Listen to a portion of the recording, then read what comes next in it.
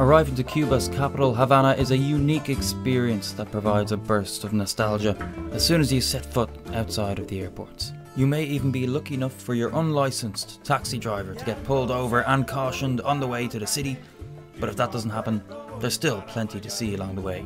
Once you're in the city, you'll notice you have just entered into the largest classic car show in the world. The US trade embargo on Cuba meant the locals had to keep these 70 year old cars running by any means necessary.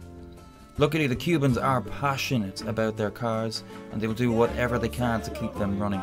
Over the decades, they have become mechanical wizards, breathing new life into these old machines, fixing them up with scrap metal, taking parts of other cars, and even boats to keep them going over the years. Murals of the 1959 revolutionaries decorate the streets, and the Capitol building dominates the very centre of Havana. Built back in 1929 on the doorstep of the old town, people work and live just a few feet from where all of the decisions are made. It's a slower pace of life in Havana, much more palatable than the chaos of other cities around the world. Poor telecommunications and no established internet service means people are more often just ambling around the streets of Havana, chatting to their neighbours. First impressions of Cuba are as though you have just stepped backwards in time.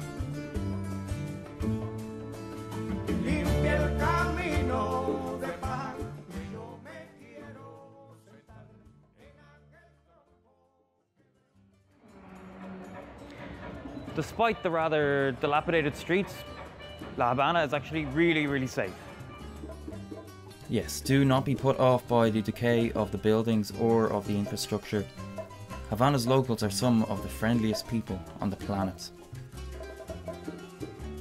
There will also be a few artists out on the streets plying their trade, but they are not bold or forceful. They keep to themselves they may invite you into one of their workshops, and if you speak some Spanish and you can meet the right one, you can haggle them down to a good price for some black market cigars. The streets of Havana are always buzzing with life. The kids are out after school having water fights, and everyone is just watching and, smiling. There is no TV, video game, or smartphone culture. So of course, people are out playing in the streets. They are outside using their imaginations, making up games, spending their days together, far, far away from any screens.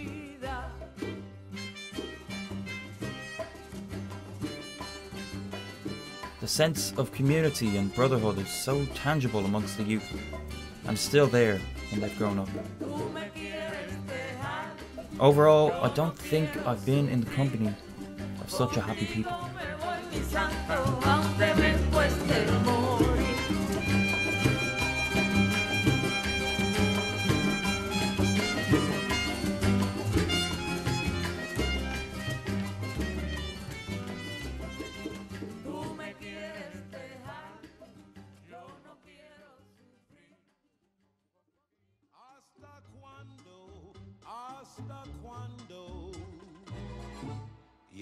With the island lying in the Caribbean, the tropical climate allows for warm weather all year round and is home to fresh avocados, bananas, pineapples, and mangoes.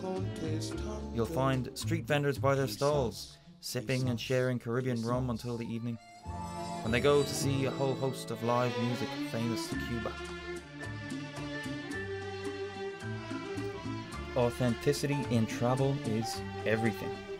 It's really what makes or breaks a travel experience. Oftentimes you can feel a place is trying too hard to impress its authenticity on you.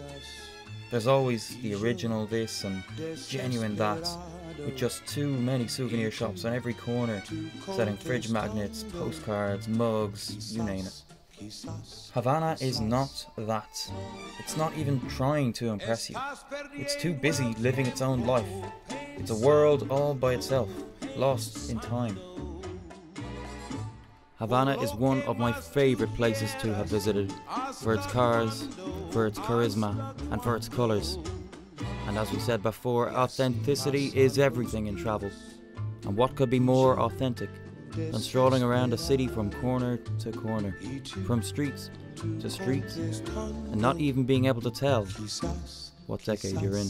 Quizás, quizás, quizás, quizás, quizás, quizás.